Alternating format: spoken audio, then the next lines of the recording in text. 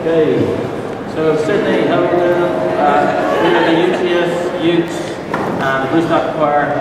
I saw Michael Hutchence sing this in a field in Tipperary in 1993 on July 31st.